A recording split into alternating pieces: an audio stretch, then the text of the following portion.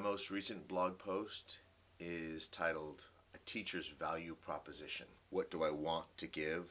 What can I give? What does the school need? What does the school want? What is my value proposition? You need to understand each of those questions differently.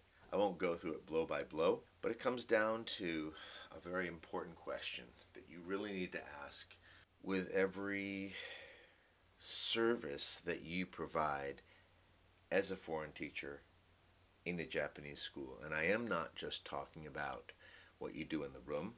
What am I doing that nobody else could do? I mean, that's that's the holy grail. To be always doing something that nobody else could do. Things that are unique about you. And it's not to say you should always do those things, uh, but you should be aware that those things are in your in your arsenal, in your repertoire. And then a much more conservative question, but a question you really need to get good at answering. You need to look at yourself critically as a foreign teacher in a Japanese school. The school has made a very deliberate decision in most cases to hire more foreign teachers than they really, really have to hire in terms of legalities or what historically has been done. I mean, schools tend to be hiring these days more foreign teachers than they used to hire. It is not a given that you belong at the school. You always need to be thinking about what your value proposition is. Why should they be hiring you and not a Japanese English teacher?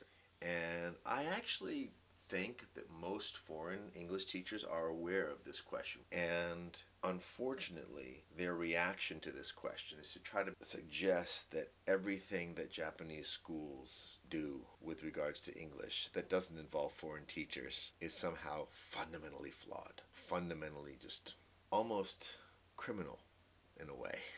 Uh, but no, what you need to do is you need to first think about what does the school actually have the capacity to do without you? And you'll be able to focus on creating value that at the very least no one else at the school could generate.